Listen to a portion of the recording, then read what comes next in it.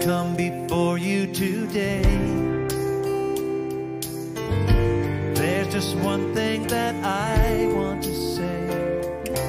Thank you, Lord. Thank you, Lord. For all you've given to me. The blessings that I cannot see. Thank you.